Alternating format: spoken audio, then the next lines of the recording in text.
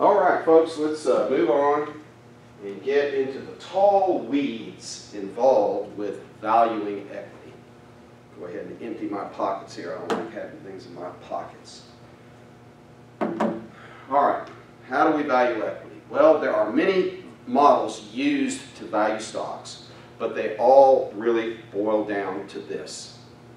What cash flow will a business generate? So what is cash flow?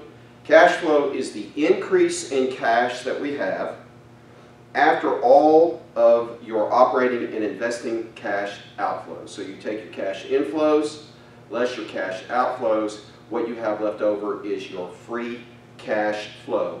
And that is what you're buying, okay? This is the cash that you use to pay a dividend, to hire more people, to buy plant equipment, and to buy other companies, among other things. A, a partial list of what we do with our free cash flow. Once we establish what our free cash flow will be, then we have to determine what discount rate or multiple we should use to find the present value of the projected cash flow. This is the price we should pay for the free cash flow. So we first ascertain what we're buying, which is free cash flow, and then we ascertain how much we should pay for that free cash flow. Finding both of these components, cash flow and the discount rate, are very uncertain exercises. For example, how can we know with certainty what the demand and what the competition will be for a company's products and services in the future? In the investment business, we often use this disclaimer. Past performance does not guarantee future results. And that is true for investments, it is true for projecting cash flows, it is true for projecting discount rates or multiples. Just because something worked in the past doesn't mean it will happen again in the future. But the past is the best uh, guide we have to the future.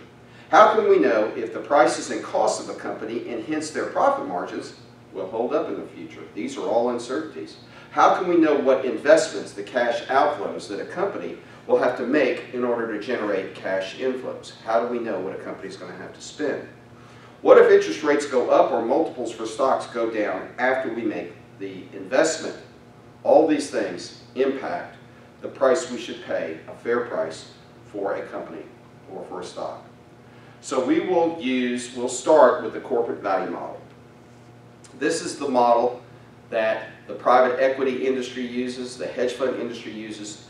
If you are thinking about uh, taking a large position in a company and you want to value the entire company and or its stock, you will most likely use this corporate value model. So we will have to project cash flows that the business might generate in the future, and then we'll have to find the discount rate, which will be used to find the present value of these expected cash flows, which will give us our total value or enterprise value of a business, once we find the total value or enterprise value, we can find the total equity value by subtracting out debt and adding cash on the balance sheet. Once we find the total equity value of a business, we can find the, uh, the price of an individual share of equity by simply dividing total equity value by the number of shares outstanding. And that's what we're going to do. Okay? So let's project cash flows. Projections are educated guesses of what a company's income statement, balance sheet, and cash flow statement will look like for multiple periods of time in the future. They are guesses because of the uncertainty involved in our world. They are educated because they are based on variables or factors that have been considered and that have some basis in reality. For example, using the history of an existing company, or the track record of a company in a similar business is the foundation or at least the starting point for making projections. In other words, projections are not intended to be wild guesses with no reflection of reality. Because of uncertainty, financial analysts most often generate multiple versions of cash flow projections that reflect a range of positive and negative assumptions. And so typically we see three cash flow projections, a most likely case, a best case, and a worst case. All right, let's start our company projections. We'll develop common size financial statements, like the income statement below. Okay, here's Apple, we're going to use Apple, and here is their income statement. Notice that we do not have interest expense on here, and we do not have net income. Instead, we have operating profit and taxes. Then we take our operating profit, add our depreciation, subtract our taxes, and we get operating cash flow. And that is what we're trying to figure out. What will our operating cash flows be? Then what cash outflows will we have to give us free cash flow? So here we have Apple's income statement. Okay. First, we have to project sales. If we're going to use this to project our income statement, we first project sales. Then we'll divide every other line item into sales. And please note, okay, well, first, by dividing every line item into sales, we will be, converting these dollar figures into percentages. Okay? Secondly, here's an example. If sales are a million dollars and cost of goods are $500,000, what percentage of sales will cost of goods be? And it will be 500,000 divided by a million, 50%.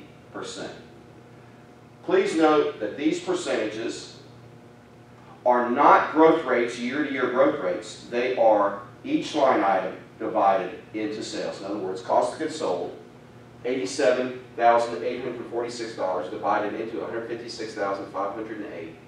Cost of goods sold is 56.13% of sales. 2011, it was 59.52%. 2010, it was 60.62%. All right, one advantage of using common size statements, this approach of using common size statements is speed. You can pretty quickly forecast financial statements with this method.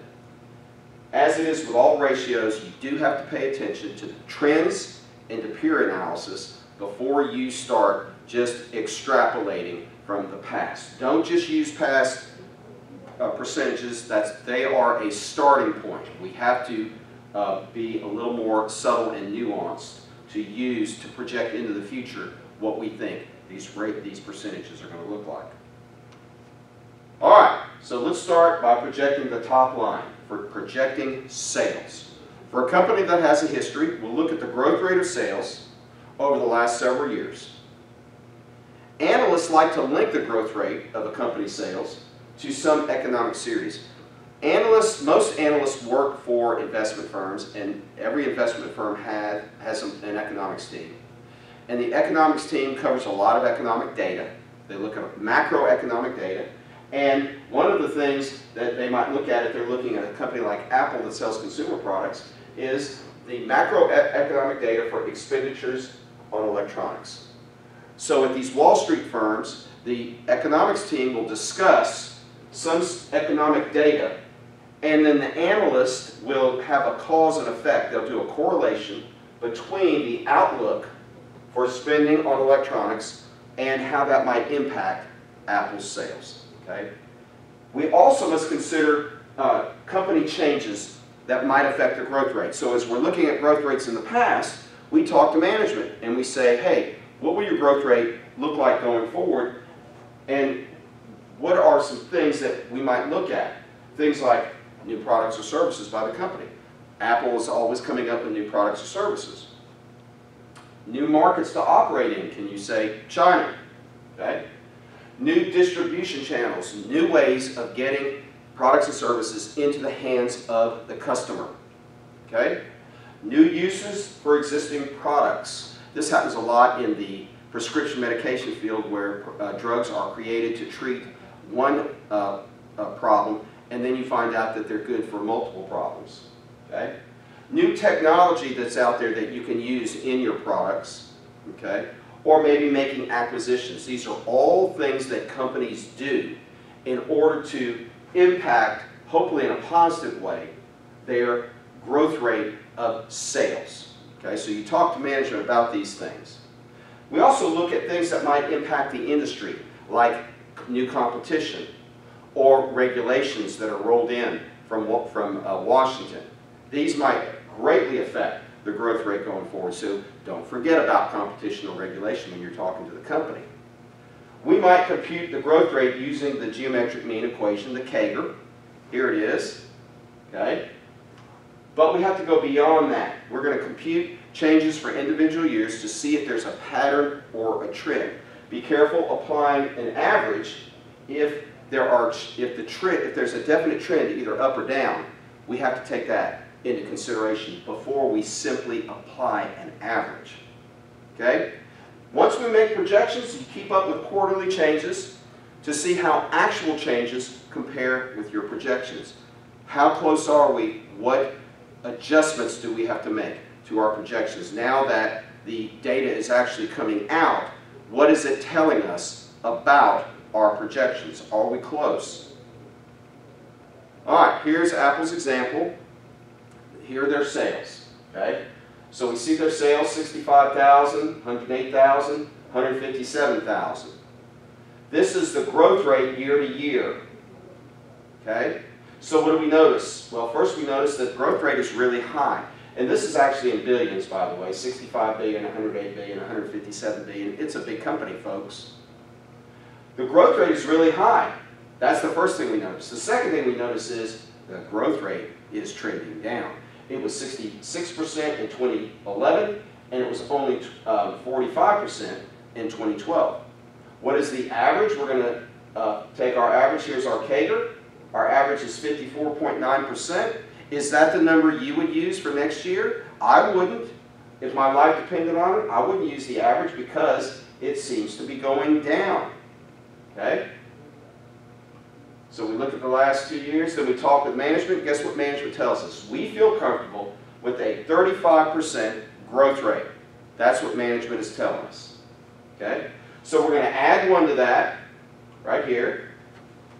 1 plus our growth rate times last year's number, and we get next year's number. There's our sales forecast. Okay? Now that we have our sales forecast, we're going to project the rest of the income statement, and we'll do that in the next clip. Shalom.